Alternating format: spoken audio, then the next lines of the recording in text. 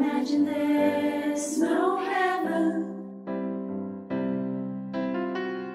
It's easy if you try.